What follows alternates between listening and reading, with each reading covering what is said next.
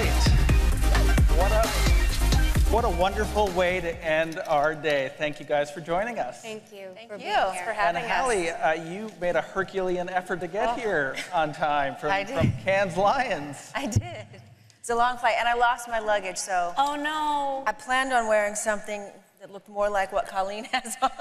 Well, But- if that's what you look like on But, the um, plane, I think you're doing pretty And, well. and frankly, in San Francisco, you fit right in. Good. Okay. Thank you. When you said you lost your luggage, though, I was imagining what I travel in. I was like, so she's going to be in sweatpants and a tank top? But you travel much nicer than. Well, today I did. Thank, thank you. Well, I, I was telling you backstage, for me, probiotics, the, the aisle in my local Whole Foods is immensely confusing. The products are all almost indistinguishable. A slight sense that digestive chaos might result uh, from any one of them. But here you guys are closing a tech conference. So, what is different about Pendulum? Yeah, I think if you've ever been in a grocery store and stood in the aisle and been confused by all the different probiotics, you're not alone, and also you're right. They are all more or less the same. If you start reading labels, you'll see that it's the same kind of lactobacillus and bifidobacterium strains. There hasn't been a new ingredient introduced in over 50 years in the probiotics industry. And so it's ripe for disruption. And the gut microbiome, which is premised in DNA sequencing and biochemical assays to understand how do you metabolically map the microbiome and then understand what impact that has on human health, becomes a sequencing and a tech problem and an engineering problem applied into a field of probiotics where there hasn't been a new ingredient. And so really, um, for us, has been awesome to be able to innovate in the field and to bring products that have true efficacy that's measurable to the world. And from my point of view, they have this one um, uh, probiotic called Akkermansia. And what impressed me most about Pendulum in the beginning is they're the only company, Colleen, has been able to figure out how to grow this one probiotic. And it's really important. It's one that as we age, we lose, right? And so for women, smack dab in the middle of menopause.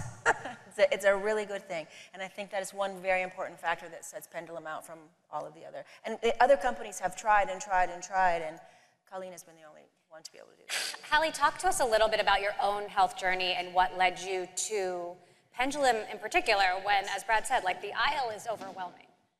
Well, first of all, I uh, got diagnosed with diabetes when I was um, 19 years old.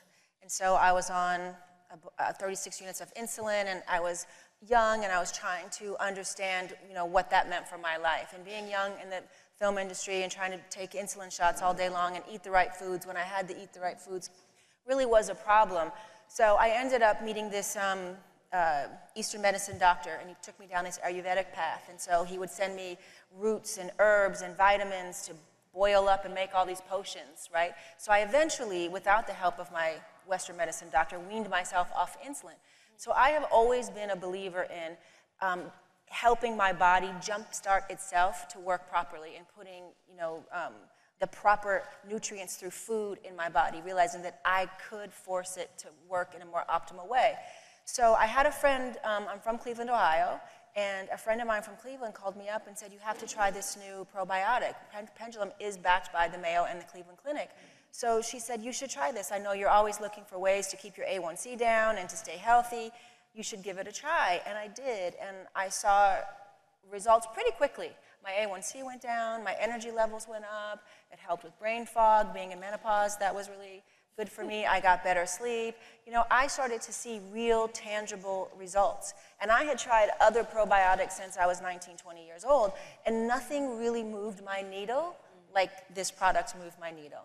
And that's when I reached out to the company and I said, I want to understand more about this. Who, who is this Colleen Cut- Cutler? I want to know how this came about. And she was so, you know, graciously, she entertained all my questions and all my calls. And finally, I said, how can I be a part of this? How can I be a part of helping everybody else learn what I learned? It was like a eureka moment for me when I really found a product that actually worked.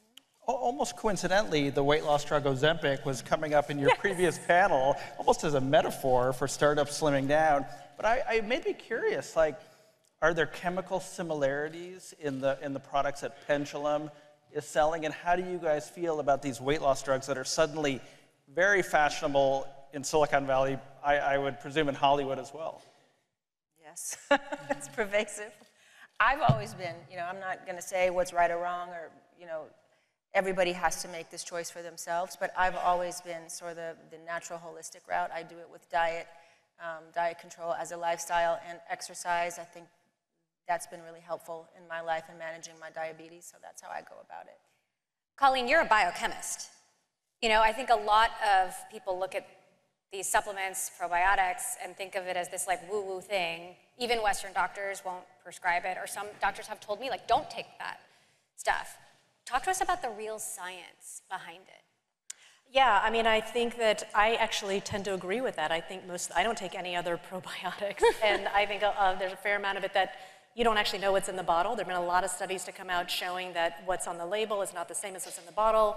It's not regulated the way drugs are, and so it enables a lot of people to just kind of come in, be a flash in the pan, and, and take market share. So the science underlying it, and you know, I can bring it back to the GLP-1s, is that um, actually pendulum glucose control, our flagship product, was intended to help the body naturally produce GLP-1. That's actually what it does. And so your body, when you eat food that has sugar in it, which is basically everything, um, first gets digested in your gut microbiome. And your gut microbiome responds to that food by stimulating GLP-1. The GLP-1 is produced by the gut microbiome. And so what these drugs are trying to do is to mimic that GLP-1 and pendulum glucose control was trying to give you back these microbes that help you metabolize food to naturally stimulate GLP-1. And we had all these reports of people saying, well, I've been losing weight, my appetite's been going down. 70% of our customers take the product because they don't have sugar cravings and food cravings. And this is all really the product of GLP-1. And so they're all, all of these things are tied together. And you know, whether it's a pharmaceutical drug versus a natural product, I think it is a super important pathway when we think about metabolism. And, and tell us where you're taking this. So, you know, not only what's in the pipeline, but what is the scope of the ambition? And now that you have Halle on board, and maybe are distinguishing yourselves from, from, uh, from the, the, the crowded probiotics aisle, what is the ambition of the company? Well, I think the microbiome um, we're now learning is linked to all kinds of different systems in the body. And I'll just say this about meeting Halle, because as you might imagine, it can be intimidating to meet somebody like Halle. And we I feel like we hit it off from the first time that we talked and eventually got comfortable enough where she said, Colleen, you've really created a product that works, um, but nobody knows who you are and nobody's ever heard of Pendulum. I know you how to change the packaging. and you got to change the packaging. This just looks like a bottle of medicine. How do we create a package that the innovation on the outside matches the inside, but really, you know, how can I help you create a brand and create awareness? And I think that's that's kind of the power duo that we've got here. And so when we think about going out and really capitalizing on the gut microbiome, it goes way beyond what you think about today, which is GI distress, into metabolic health, which is what our first products are on. Um, we know that the gut is, uh, the gut-brain axis is really important. Akkermansia actually produces GABA, which is known to reduce stress and anxiety. Um, and we know that there are kind of your typical neurodegenerative diseases that you can start to go after with the gut. And so we're super excited to keep learning and exploring the science. Halle, you are, of course, Halle Berry. You know, how did you decide you wanted a second act, and how much will this be your second act? Oh, this will very much be my second act. You know, I feel like Colleen said, I feel it's incumbent upon me to use any you know, um, influence that I have over everyday people for good. And because I, you know, I used this product for over a year before I really asked her to really get involved. Well, I saw signs pretty early. I thought, no, let me ride this out.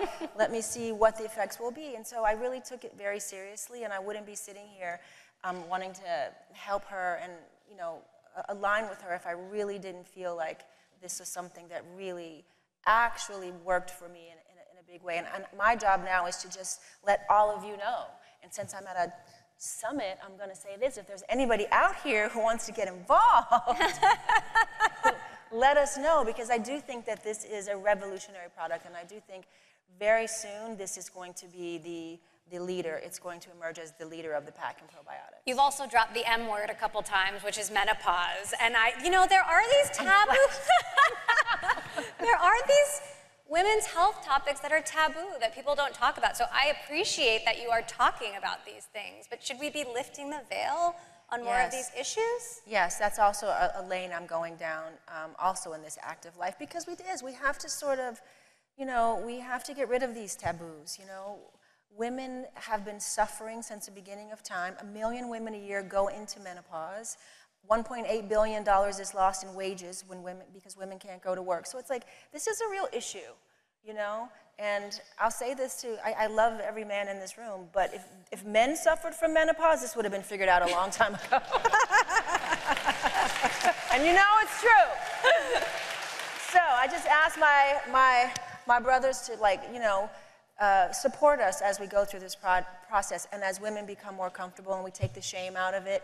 You know, we, we are blessed to make it to the menopausal years, right? And we are our best selves as women. We're stronger, we're smarter, you know, we've lived life, we've raised our children, we now have money to spend, like we're feeling good. Like, you know, it's, it's our time to really put some energy and some resources uh, uh, be, behind this issue and help us figure out ways that we can actually not just survive this time, but thrive. And Pendulum is a really good product to start you on that journey. Another taboo you've been vocal about in the past is mental health. Is there a link between taking care of yourself in this kind of product and mental health? Yeah, I, I think so. I think, you know, when, you, when your gut is well, you know, then everything about you is well. So it all starts here uh, in your gut for sure. Colleen, it's not often we talk to a therapeutics company that's backed by Sequoia. And so I'm, and Alfred actually told me he's a huge fan. He takes a lot of supplements. I know Roelof, both uh, who's on your board, does as well. What does Sequoia bring to the table that another investor might not, given the Silicon Valley connection?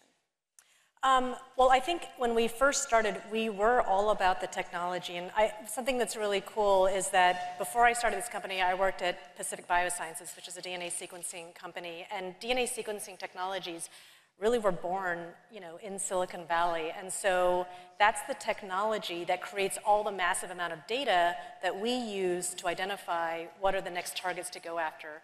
And so when we first started working with Sequoia, it really was how do you bring the latest technologies and big data together with science and try to crack that nut. How do you bring these two things together?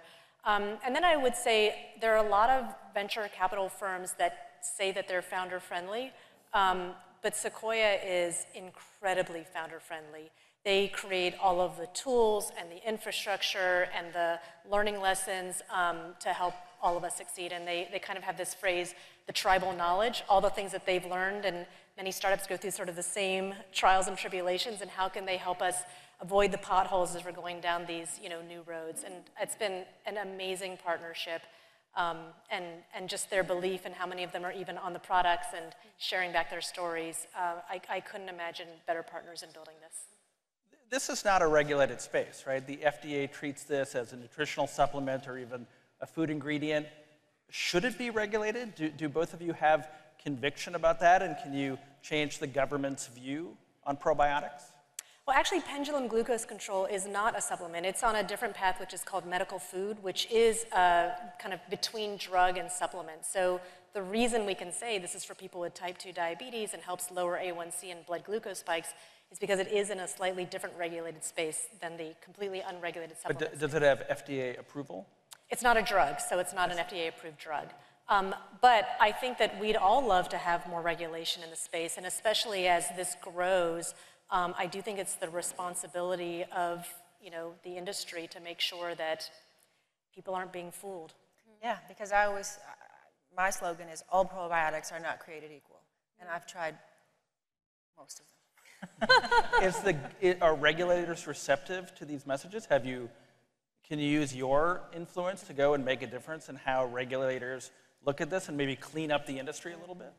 They're already making movements towards that, and it starts with standardizing how things are reported on the label. And so they, there have already been new laws put into place around, you know, how do you measure what's on what you're putting on the label, and how do you make sure that there's kind of truth in the bottle. And so I think, um, I don't know, are you up for taking on the U.S. government? I'm always good for, for a good Yeah. fight. Well, you said you've tried everything, right? There, Yes, there's a I've lot tried of many, yes, chaos and Yes. misinformation in this. Yes, so yeah. I, the answer would be yes. I'm, I'm up for a good fight always. Um, what is the next frontier in metabolic health? Like, I feel like we're, we're kind of at a, a moment where we're having a breakthrough. Where do you see this going? What kind of research are you doing in terms of new products to help blow the doors open? I think metabolic health is going to continue to grow in our, our knowledge and, and, and products that, that surround it because essentially our ability to metabolize sugar is the number one signal for how well we're aging, how healthy we are. And so when you can actually metabolize your sugars better, it's not just that your A1C goes down, it's that you have better energy, reduced brain fog, better workouts.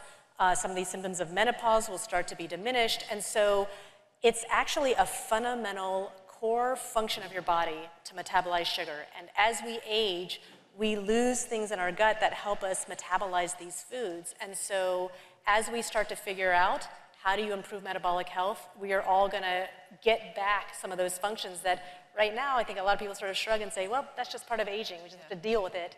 But we don't.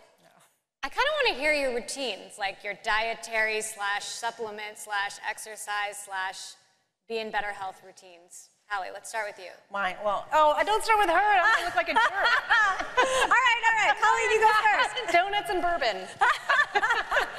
Seriously, right? I mean, you guys are thinking about this every day, so I'm, I'm curious. I want to learn. Well, I have always managed my diabetes with my food and you know uh, and exercise, so that's a big part of what I do. I'm probably the most boring eater on the planet. I'm really just for a good protein and some you know low carb veggies. That if I have that, sounds really boring, but I'm somebody that actually you know eats to live. I don't live to eat, so it's not that important to me. I'm not a foodie. So it's eating that way. It's having, you know, my exercise routine, which is always really important. What's your exercise routine? Well, it depends on because of what I do. Sometimes I'm playing a role where I have to lose weight. I just did a movie where I had to look emaciated, like I was starving. So that's one way to sort of stay healthy while I do that. Before that, I played an MMA fighter, so I had to beef up. So it all depends on what I'm doing in my work life as to what my workouts sort of look like. But the food always stays the same. My pendulum always stays the same. And I take, you know, a few other supplements. You know, I make sure I have my, my you know, vitamin D. I take, you know, um, fish oils and like other things like that to sort of supplement my, my pendulum. But it's always, my pendulum is with me always. What about, you know, the meditation slash yoga slash tech routine? I mean, are you, I are you a like take tech out of my day kind of person or? Um, I am, but it's not to take it out of my day. That's not really my thought. My thought is more to connect to myself because I'm also a big believer that we manifest, you know, our realities. And so sometimes I have to go deep in, you know, just connecting with myself and putting out in the universe that which, you know, what I'm wanting. I'm a big believer in that too. All right, Colleen, your turn. I mean, just does bourbon and donuts, like I you said. know you didn't have to bulk up to be I an don't- MMA fighter, but I don't eat to live, I live to eat. I love to eat. I, that's why we created a product. First thing I was like, how do we help this metabolism problem? So, um, no, I eat terribly, and then I take my glucose control. I also take my glucose control religiously, but for a different reason to enable all the bad behaviors. I do exercise uh, pretty religiously because I think that that's an important part. For me, that's really a mental health thing. Um, but no, I'm a terrible. T- I grew up in the South. I love fried foods and sweet things. hence the bourbon. And bourbon, yeah. Go ahead. Uh, Halle, now that you're keynoting at tech conferences and advising a venture capital backed startup, is this the beginning of something? Do you, are you looking for other similar opportunities related to things that you're passionate about? No, no, no, you just pendulum. Sit. No, no, no. She'll be available for pitches after the conference. What's going on, Brad? No. She'll kill me. No, no, but I will say this. Yeah, this is the second half of my. I mean, I, you know, at 56 years old, I've, I've really realized I'm kind of done being the dancing bear. And so I really want to have a, a, a second act that's um, as meaningful as my first act. I hope so. And actually, I think in your career, you've had to be incredibly entrepreneurial. There's a lot of skills you've had to develop Yeah. that apply directly to being in a startup. Yeah, and you know that's a really I won't say many jobs are stressful, but as a movie actor, after every movie you're unemployed again. So you're constantly, mm-hmm. you know, starting a new venture, if, if you will, or finding work or finding a way to also build your career so that after 30 years you can still you know, be relevant in your career. So that takes, you know, I think entrepreneurial spirit for sure. All right, so we'll end with this. I think, you know, some people in the audience might be hearing this for the first time. If they're, one, if they're intrigued, you know, what should they do first? You know, how do they go out there and start this journey?